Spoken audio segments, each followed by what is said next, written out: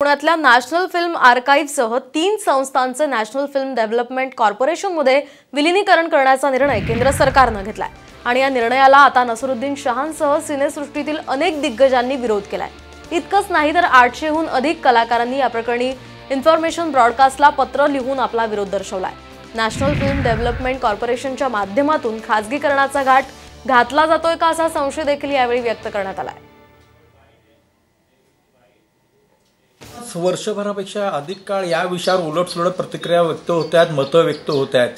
चित्रपटसृष्टीशी संबंधित ज्या लहान मोठ्या महत्त्वाच्या संस्था आहेत त्या एका छत्राखाली एकत्र आणण्याने त्याच्यामध्ये हस्तक्षेप वाढेल त्यांचं स्वातंत्र्य हिरावून घेतलं जाईल अशी काहींना भीती वाटते. परंतु त्यांना जर एकत्र आणलं आणि त्या एकाच छत्राखाली त्यांचा कार्यभार सुरू झाला तर त्यांच्या असलेल्या समस्या त्यांच्या असलेल्या मागण्या त्यांच्या असलेल्या अपेक्षा या अधिक सहजपणे सोप्या पद्धतीने समजून घेता येतील आणि ते सोडवणं सुद्धा शक्य होईल.